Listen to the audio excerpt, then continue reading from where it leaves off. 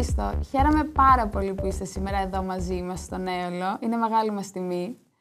Ε, ε, εγώ ξέρω ότι έρχεστε πολύ συχνά στη Μυτιλίνη, αλλά τι είναι αυτό που πραγματικά σας συνδέει με αυτό το νησί; Αν πω σε πρώτη απάντηση δεν ξέρω, θα είναι αλήθεια. Τα αγάπησα, αγάπησα τον τόπο, τους ανθρώπους, τα προσκυνήματα ε, και έχει πολλά προσκυνήματα, παράξενα προσκυνήματα, πρωτότυπα προσκυνήματα. Και θέλω συχνά να έρχομαι, βρίσκω ευκαιρία, μόλις μου ζητήσουν λέω όπα, όπα, όπα, όπα, πάω. Ε, φέτος είναι η δεύτερη φορά. Μέχρι τα Χριστούγεννα μάλλον θα υπάρχει ακόμα μια τρίτη φορά. Δηλαδή πότε ήρθατε πρώτη φορά στο νησί; Έχω δύο χρόνια, τρία. Και παρόλα αυτά το αγαπήσατε. Ναι, ναι, το λάτρεψα.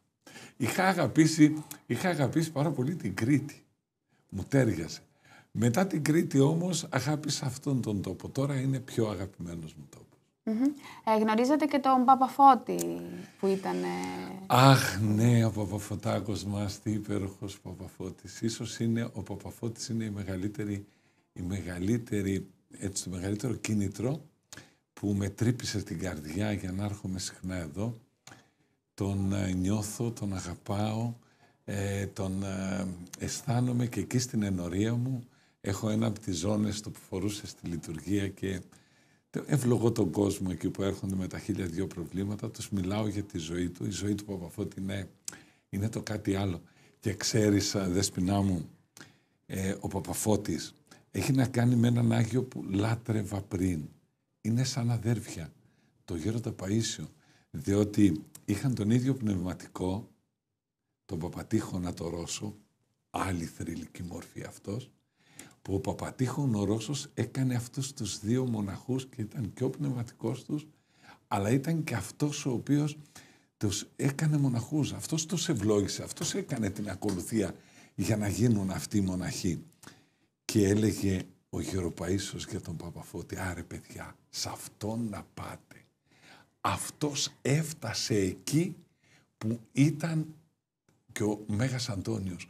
Τόσο σπουδαία πράγματα έκανε στην άσκησή του, στην πνευματικότητά του, στην αγάπη του, στη θυσία του και έβαζε από πάνω από όλα αυτά την τρέλα του για να τα σκεφάζει.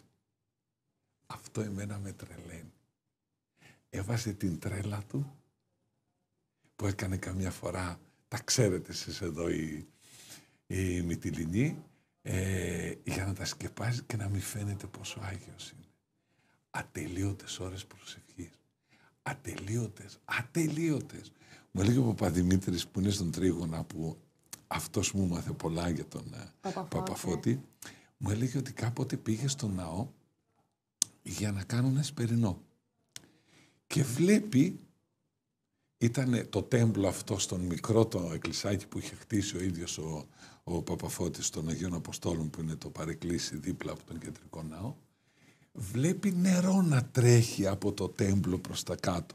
Σε εκείνο το σημείο είχε ένα προσκυνητάρι. Πίσω από το προσκυνητάρι, γονατιστός, μικροκαμωμένος όπως ήταν, να προσεύχεται ο Παπαφώτης. Με τόσα δάκρυα, με, τόσο, με τόσους λιγμούς, που να τρέχει το νερό κάτω και να λέει τους χαιρετισμούς. Τους είπε μία, τους είπε δύο, τους είπε τρεις. Τον σταματάει ο Παπαδημήτρης και του λέει «Σε ευχαριστώ παιδάκι μου, γιατί δεν μπορούσα να του σταματήσω τους χαιρετισμούς στην Παναγία». Και του λέει «Από πότε είσαι εδώ» «Έμορε, ξέρω εγώ, από χτες». 24 ώρες προσεχή. Αυτή είναι η αγάπη των Αγίων.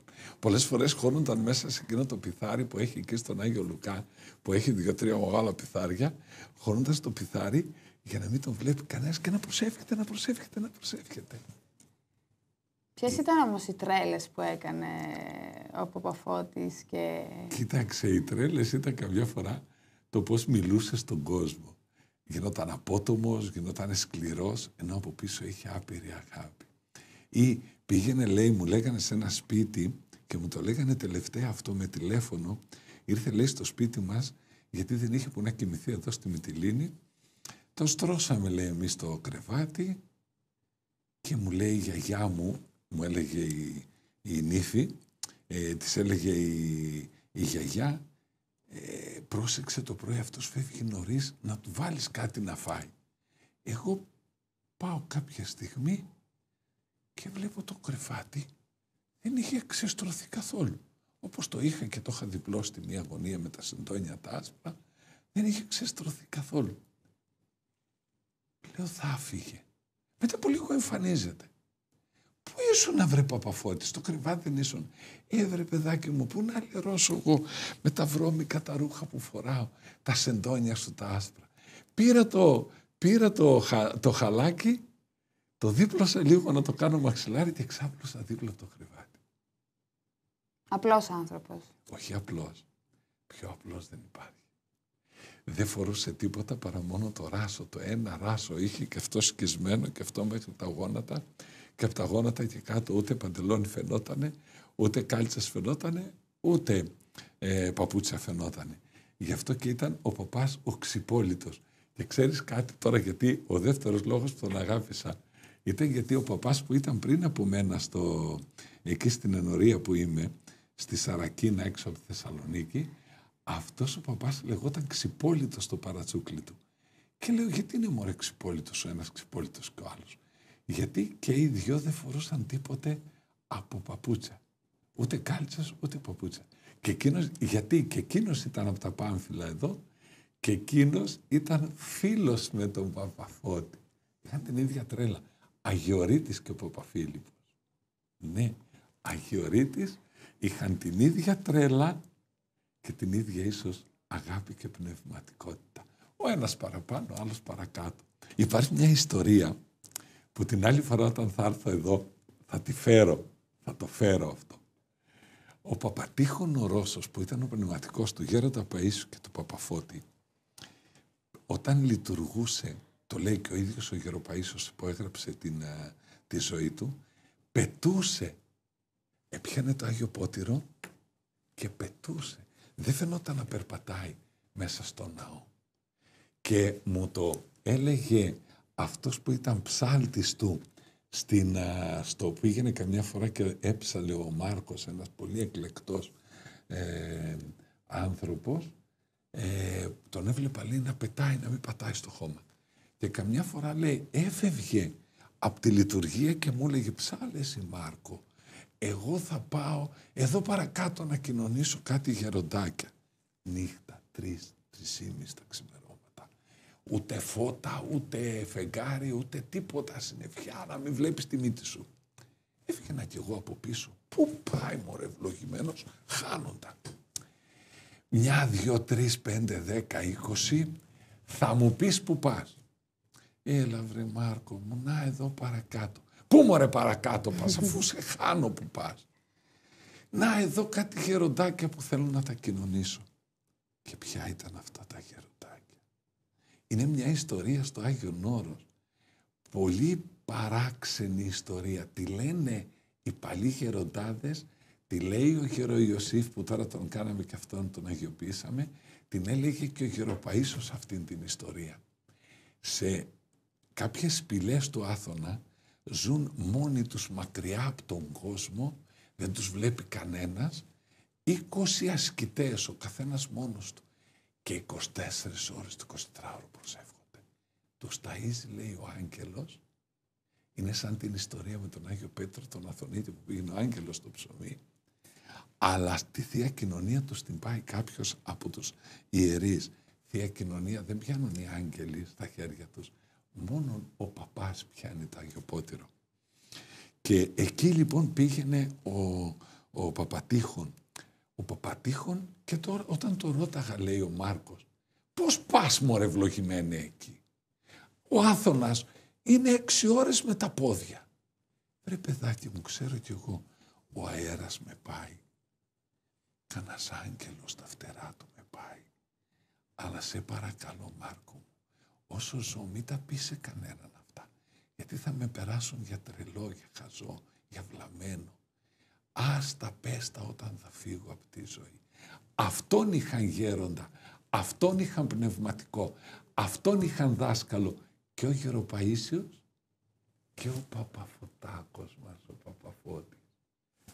Ναι, και αυτοί τους έκαναν και και τους δυο. Αυτός τους έκανε Αγίους. Γιατί ήξερε μωρέ. Ξέρεις, Δέσποινα, άμα ξέρεις ποιος είναι ο Θεός, άμα μάθεις ποιος είναι ο δρόμος του Θεού, θα γίνεις, θα γίνεις αετός. Ή θα κάνεις άσκηση πολύ, ή υπάρχει, όχι υπάρχει και ένα ή. Για μας που δεν αντέχουμε την άσκηση, ούτε εγώ την αντέχω την άσκηση. Υπάρχει ένας άλλος δρόμος της αγάπης. Εγώ δεν θέλω να αποδεικνύεται ο Θεός ούτε με λόγια, ούτε με κείμενα, ούτε με το τι είπαν οι τάδε σοφοί και οι τάδε άγιοι. Εγώ θέλω να αποδεικνύεται ο Θεός στον κόσμο με την αγάπη μας. Να αγαπάμε, να αγαπάμε και να αποδεικνύουμε την ύπαρξη του Θεού. Όσες φορές και εγώ προσπάθησα να τον βρω το Θεό μέσα από πολύ πνευματικότητα, μπερδεύτηκα. Όσες φορές προσπάθησα να τον βρω μέσα από την αγάπη και την ταπείνωση. Κάτι ένιωσα. Μιλάτε τώρα τόσο, τόσο όμορφα, αλλά γνωρίζω ότι στο παρελθόν, όταν ήσασταν πιο νέος, ε, είχατε λίγο απομακρυνθεί από την πίστη. Όχι λίγο. Όχι, δεν ήταν λίγο. Ήταν πολύ. Θα στην πω τότε την ιστορία. Κάπου τη βρήκες και με τζιμνάς τώρα. Θα στην πω την ιστορία.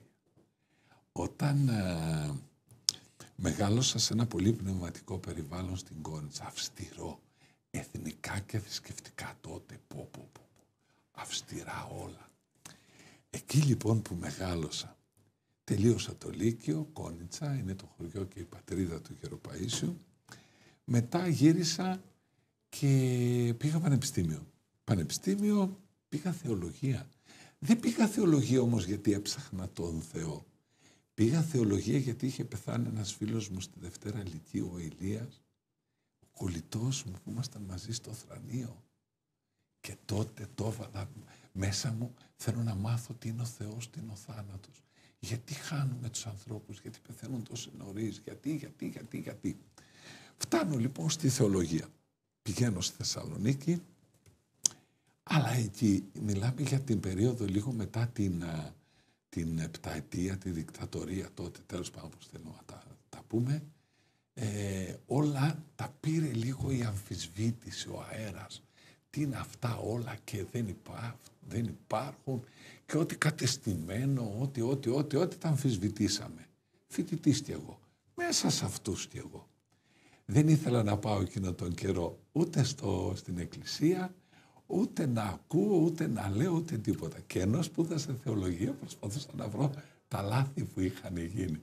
Όχι τα καλά, όχι τα σωστά, όχι τη διδασκαλία του Θεού, τι λάθη έκαναν μέσα στην εκκλησία αυτά τα δύο χιλιάδες χρόνια. Στον μόνο όμως που ήθελα να πηγαίνω και να επισκέφτομαι και να ζω κάποιες στιγμές μαζί του, ήταν ο Γεροπαΐσιος. Δεν ξέρω γιατί. Μ' άρεσε να πηγαίνω. Μ' άρεσε να είμαι εκεί. Ξεκίναγα από τη Θεσσαλονίκη μία μέρα να πάω, μία μέρα να το δω, την επόμενη να γυρίσω. Και πήγαινα εκεί και τι έκανα ο άθλιος. Πω, πω. Του τάχωνα. Του έλεγα, του έλεγα, του έλεγα, του έλεγα έτσι κοραϊδεύτε τον κόσμο, κάντε τούτο, εκείνο, το ένα, το άλλο. Και αυτός σαν την βάλει απέναντι και να πει τι λες μωρέ, είσαι χαζός, είσαι άθλιος, είσαι άθεος, είσαι άφιστος. Αυτός παγκάλιας. Με χάιδε, με πείραζε. Και εκεί που εγώ σταματούσα να του λέω, έλα βρε Χριστάκη, δεν μου πεις άλλα. Και εγώ, ο ακόμα πιο άθλιος, έλεγα τώρα με κοροϊδεύει, θα το πω εγώ τώρα. Του λέγα χειρότερα πράγματα. Και έτσι περνούσε η μέρα μας.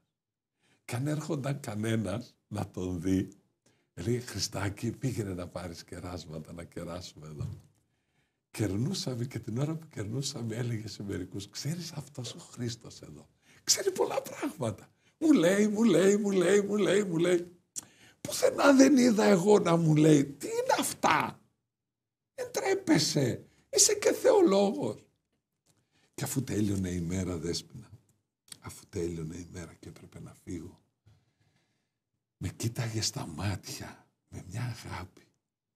Θα ξανάρθεις Χριστάκη. Ε, θα ξανάρθω. Γιατί; να βρει παιδί μου, μήπως σου είπα τίποτα χαζό και σε στενοχώρησα. Μήπως από όλα αυτά που σου είπα εγώ δεν ήταν κάτι καλό και ήταν κάτι χαζό και σε στενοχώρησα. Εγώ αγράμματος είμαι, εσύ τα λες καλά. Και περνά ο καιρός. Έτσι παίζαμε δύο χρόνια. Δύο χρόνια μετά όμως εγώ ξαναγυρίζω και γίνομαι αυστηρός χριστιανός. Ένας χριστιανός με τα όλα μου. Νηστείες, προσευχές, απόδειπνα, χαιρετισμοί, εσπερινοί, όρθρος, τα πάντα. Γιατί, γιατί αγάπησα ένα μοναστήρι από το Άγιον Όρος και ξαναθυμήθηκα τα παλιά μου τα πνευματικά και λέω εδώ, εδώ, εδώ, εδώ, εδώ, εδώ, εδώ, εδώ. Και ετοιμάζομαι, δίνω το τελευταίο μου μάθημα και ετοιμάζομαι να πάω για μοναχός. Γενάρης μήνας. Να πάω για μοναχός. Ωραία. Μ' άρεσαν αυτά. Διάβαζα πνευματικά βιβλία, αυτά, ασκητικά. Ήμουνα σαν καλόγερος και με τα γένια και τα αυτά παρόλο ότι ήμουν λαϊκός δεν παπάς τότε, δεν χαράσω. Αλλά ζούσα σαν να ήμουν καλόγερος. Και πηγαίνω με την ελπίδα, είχα δυόμιση χρόνια να τον δω. Γιατί τον θεωρούσα τίποτα μετά. Το μοναστήρι ήταν πάνω από αυτόν. Και η δικιά μου ζωή ήταν, δεν είχα ανάγκη το γέροντα. Αλλά πήγα να πάρω την ευχή του, μπας και μου πει το όνομα για να λέω και να καυχέμαι ότι νουνός μου είναι ο Γεροπαΐσιος. Και πηγαίνω. Ξημερώνει. Ένα χιόνι ήταν Γενάρης μήνας, τρίτη εξεταστική είχα τελειώσει. Ένα χιόνι. Α, που ωραία λέω. Σήμερα τι ωραία που θα είναι. Στο γέροντα δεν θα υπάρχει κανένας και θα πάω και θα πούμε, θα πούμε, θα πούμε, θα πούμε. Τα πνευματικά μας. Και πάω λοιπόν εκεί και βλέπω έξω στην αυλή του καμιά 70-80 άτομα. Τσατίζομαι, λέω, τι θέλουν μωρά αυτοί τώρα εδώ, τι ανάγκη έχουν τον γέροντα. Εγώ να τον δω τον γέροντα που ξέρω και από αυτά τα ασκητικά. Και πάω και κάποια στιγμή βγαίνει ο γέροντας και τι λέει. Ενώ δεν υπάρχει κανένας ιερωμένος, ούτε μοναχός, νεράς, ούτε τίποτα. Τιμή μας σήμερα έχουμε εδώ και έναν μεγάλο ασκητή. 80 ήταν. Εγώ λέω για μένα το λέει. για μένα το λέει ο γέροντας. Είδε, τώρα θα μου πει ωραία πράγματα. Ξαναπηγαίνει μέσα ο γέροντας. Ξανακάθομαι εγώ έξω τώρα, λέω, και νύχτα να χρειαστεί και την άλλη μέρα ακόμα να ξημερώσει, εγώ θα μείνω εδώ και σε χιόνι. Κάποια στιγμή ξαναβγαίνει, το έκανε συχνά. Έβλεπε ο άλλος 5-10, ξαναέβγαινε για να πάρουμε ευχή. Και μόλις φτάνει η σειρά μου, κοιτάει στα τι είπες, θα πας εσύ για καλόγερος. Φεύγεις από το Άγιον Όρος τώρα. Εγώ νιώθω ότι πέφτω. με κομμάτια. Φεύγεις από το Όρος τώρα. Με κοιτάει με ένα αυστηρό ύφος. Και συνεχίζει να χαιρετάνε οι υπόλοιποι. Ξαναγυρίζει. Αγκαλιάζει.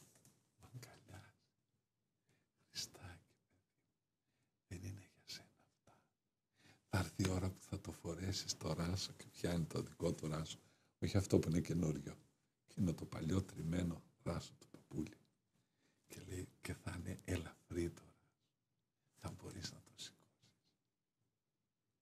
Έφυγα, δεν θα πω την άλλη ιστορία, γυρίζω μετά από 15 μέρες. Εμένα με τρώει το κεφάλι, τσατίζομαι, τρελαίνομαι, χάνω την ομορφιά μου, χάνω αυτό που είχα αγαπήσει, που είχα ερωτευτεί, που ήθελα να γίνω. Τη μια ε, στιγμή έλεγα, σωστά τα είπε.